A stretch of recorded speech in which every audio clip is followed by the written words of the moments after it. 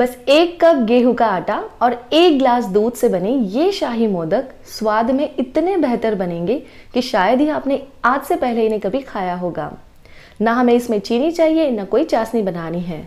तो ये ऐसे हेल्दी से मोदक आपका स्वाद और सेहत दोनों का ख्याल रखेंगे और गणेश जी को भी खूब भाएँगे। तो आइए बनाते हैं। सबसे पहले मैंने यहाँ रखा एक पैन, और देखिए, इसमें मैं ले रही हूँ एक ग्लास दूध। ये पहले से उबला हुआ दूध है जो मैंने फ्रीज में रख दिया था।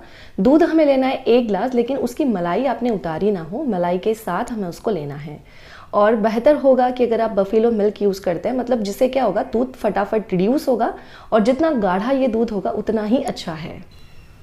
और अब मैं इसमें डाल रही हूँ कॉर्न फ्लार या कॉर्न स्टार्च ये सिर्फ़ हमें आधा चम्मच डालना है। ये देखिए, ये वाला मैं यूज़ कर रही हूँ, जो हम सूप वगैरह बनाने में यूज़ करते हैं। चाइनीज़ डिशेस में जो यूज़ करते हैं, वही है। इसको पहले इस ठंडे दूध में हम अच्छे से मिला लेंगे और फिर अब हम इसे रखेंगे गैस के ऊपर गर्म होने के लिए। आपको कॉर्नफ्लावर डाल के फिर से दूध को पकाना है रिड्यूस करना है, थोड़ा थिक करना है। तो लीजिए, मैं इसको चला रही हूँ। ये हम होने देंगे। इसको मैं दूसरी गैस की तरफ़ शिफ्ट कर रही हूँ। और यहाँ अब मैंने रखी है एक कढ़ाई। टोटल इस पूरी रेसिपी में हमें सिर्फ़ हाफ़ कप मेजरिंग कप से नाप के हाफ़ कप जितना ही घी यूज़ करना है और जिसको मेल्ट कर लिया है मैंने, ताकि मेज़रमेंट गलत ना हो। मतलब हमारी रेसिपी में घी ज़्यादा ना हो जाए। तो देखिए, दो से तीन छोटे चम्मच जितना घी मैंने अब यहाँ डाला है।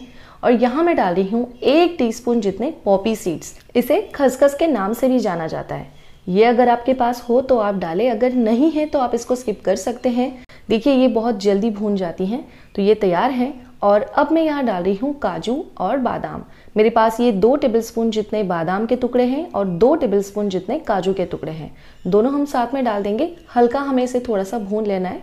हल्का कलर चेंज हो चुका है और अब मैं यहाँ डाल रही हूँ वन फोर्थ कप जितना कद्दूकस किया हुआ सूखा नारियल ले सकते हैं या फिर नारियल का बुरादा भी ले सकते हैं डेसिकेटेड कोकोनट भी ले सकते हैं।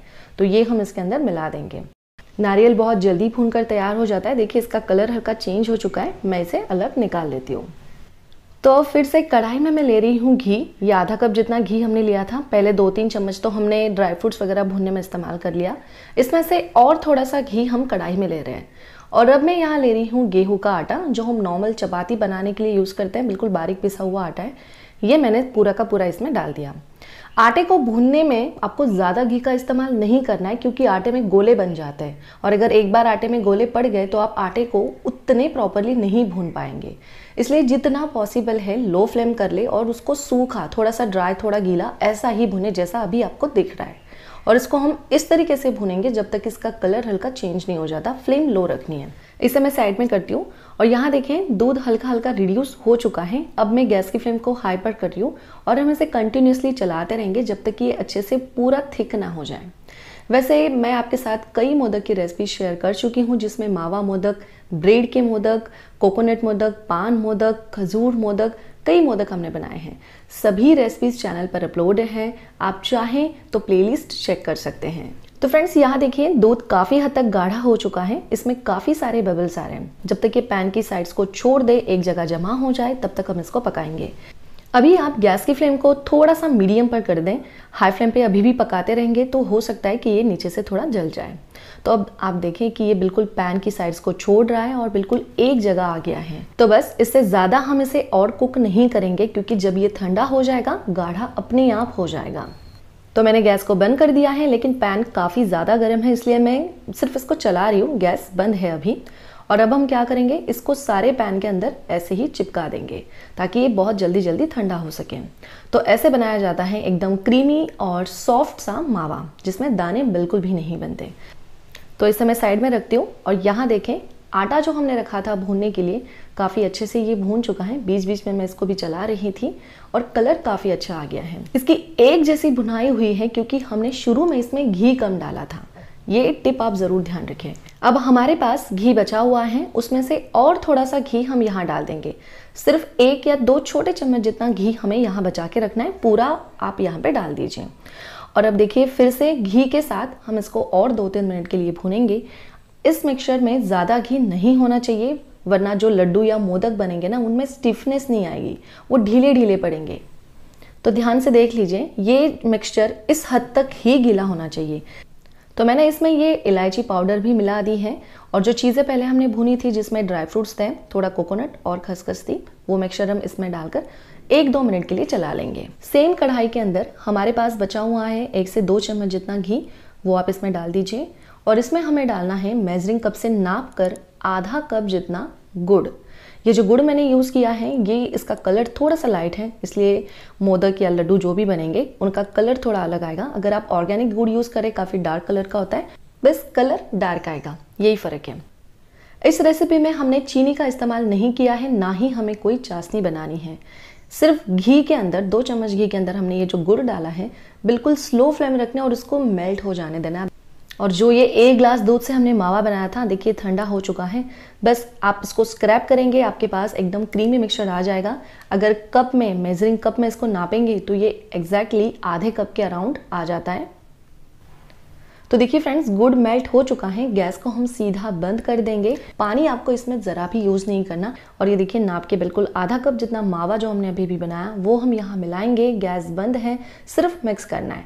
और तुरंत हम इसमें डाल देंगे आटे का जो मिक्सचर हमने बनाया था, वो सारा। बस एक मिनट के लिए अच्छे से सारी चीज़ें कंबाइन कर लेनी है और इसे निकाल लेना है एक थाली के अंदर। अब ये बहुत गर्म है जस्ट हल्का थोड़ा ठंडा हो जाए तभी हमें इसके मोदक या लड्डू जो भी आप चाहें बना सकते हैं। मिक्सचर को बहुत ज़्यादा ठंडा नहीं होने देना है। जब ये थोड़ा थोड़ा गर्म हो, तभी आपको लड्डू या मोदक बनाना शुरू कर देना है।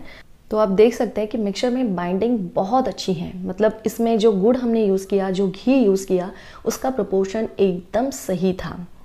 हो सकता है कि जो मिक्सचर आपने यूज़ किया है, वो थोड़ा भुरभुरा हो जाए। आपको लड्डू या मोदक बांधने में बहुत प्रॉब्लम आ रही है बिखरे बिखरे से बन रहे हैं। आप एक दो चम्मच घी मेल्ट करके ऊपर से डाल सकते हैं। या फिर दूध एक दो चम्मच डालकर इसको हल्का आप गीला कर सकते हैं ताकि इसकी बाइंडिंग प्रॉपर तरीके से आ जाए। तो देखिए फ्रेंड्स मैंने यहाँ पर ये मोदक बनाकर तैयार कर लिया है। देखिए कितना ज़्यादा ये शानदार लग रहा है। इसलिए हमारे गेहूँ के आटे से बने ये शाही मोदक बापा को, आपको, घर में सबको बहुत पसंद आएँगे। ये रेसिपी बनाने के लिए आपको सिर्फ़ एक ही मेन चीज़ चाहिए, जो आपको आपके घर में इजीली अवेलेबल भी हो जाएँगी, वो है दूध। तो दूध को आपको बहुत ज़्यादा देर घंटों उबालते बैठने की भी ज़रूरत नहीं है। 20 से 25 मिनट के अंदर आपकी पूरी रेसिपी बनकर तैयार हो जाएगी। इसमें आपको कोई चाशनी बनानी नहीं है तो रिज़ल्ट इतना परफेक्ट आएगा। बिल्कुल मलाई की तरह मुँह में घुल जाने वाले ये बनकर तैयार होंगे। तो आइए बनाते हैं। टोटल हमने दो लीटर जितना दूध लिया है, जिसको मैंने दो हिस्सों में डिवाइड कर दिया है। एक लीटर दूध इस कढ़ाई में आ गया और बचा एक लीटर यहाँ आ गया। आप ये रेसिपी सिर्फ़ एक लीटर दूध से भी बना सकते हैं। दोनों को आधा आधा कर देना है। मतलब आधा आधा लीटर आपको डिवाइड कर देना होगा। अब गैस पर दोनों तरफ़ मैंने दोनों बर्तन रख दिए हैं और इसमें हम एक अच्छा बॉयल ले आएँगे। तब तक मैंने यहाँ एक बोल लिया है, जहाँ मैं ले रही हूँ दो बड़े चम्मच टू टेबल स्पून जितना विनेगर जो हम चाइनीज़ डिशेज में यूज़ करते हैं और इसी के साथ चार चम्मच जितना पानी मतलब इसे हम थोड़ा सा डाइल्यूट कर लेंगे। एकदम से दूध को इसकी वजह से झटका नहीं लगेगा। तो अब यहाँ इस तरफ़ देखें, यहाँ पे अच्छा बॉयल आ चुका है और जैसे ही दूध गर्म हो जाए, मैं गैस को बंद कर दूँगी। और तुरंत आपको ये जो हमने दूध फाड़ने के लिए सोल्यूशन बना के रख लिया था, ये इसमें डालते जाना है धीरे धीरे चलाते जाना है। आप देखेंगे कि थोड़ी ही देर में मतलब सिर्फ़ दो तीन मिनट के अंदर ये दूध पूरा फट के तैयार हो चुका होगा और आपके पास ऐसा छेना बन करके आ जाएगा। बस सात आठ मिनट के अंदर ये छेना बन करके तैयार हो जाएगा, जिसे मैंने छान लिया है। दो तीन बार पानी से इसे काफ़ी अच्छे से आपने वॉश करना है। अच्छे से इसके अंदर का सारा पानी दबा दबा के पूरा निकाल देना है, जितना आपसे हो सके। है ना सिंपल सीधा इसे एक प्लेट में लेना है। और इसको मसलना शुरू कर देना है। चाहे हाथ से मसले या ऐसे ही चम्मच से थोड़ा मैश कर ले। और यहाँ दूध देखिए 10 मिनट के अंदर आधा तो हो चुका है। इस समय अब मैं इसमें थोड़े से केसर के धागे डाल हूँ ताकि इसमें कलर फ्लेवर काफ़ी अच्छा आ जाए। तो इस समय मैं इसमें मिला रही हूँ मलाई। दूध के ऊपर की फ्रेश मलाई अगर आपके पास हो तो आप ये ज़रूर डालें। और अब इसमें हमें मिठास के लिए डालना है चीनी। तो ये आधा कप जितनी चीनी मैं डाल रही हूँ, पूरी एक साथ आप डाल दीजिए। चीनी पूरी घुलने तक हम पकाएँगे ताकि चीनी का जो मॉइस्चर है वो भी रिड्यूस हो सके। तो आप देख सकते हैं कि बिल्कुल रबड़ीदार ये दूध बन करके तैयार हो चुका है और अब इसमें मिला देना है छेना, जो हमने मैच करके रख लिया था।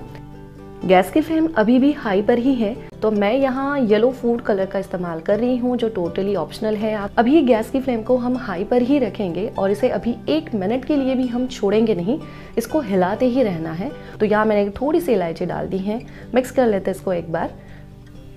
अब देखिए फ्रेंड्स और तीन से चार मिनट पकाने के बाद आप देखेंगे कि काफ़ी हद तक गाढ़ा हो चुका होगा। पूरा मॉइस्चर सूख जाएगा और एक जगह डो की तरह बंधने लग जाएगा, कढ़ाई की सारी साइड्स को ये छोड़ देगा। तब आप समझ जाइए कि ये रेडी हो चुका है। इसे प्लेट के अंदर मैंने निकाल लिया है। इसी के अंदर हम इसको ठंडा कर रहे हैं। ज़्यादा ठंडा नहीं करना है, हल्का लिक्योम रहे बस तब तक। और आप देखेंगे कि जैसे जैसे ये ठंडा होते जाएगा ना, वैसे वैसे और भी थिक होते जाएगा। इसका टेक्स्चर काफ़ी सही हो जाएगा। तो यहाँ पे आप देख सकते हैं कि अभी ये रेडी है मोदक बनाने के लिए।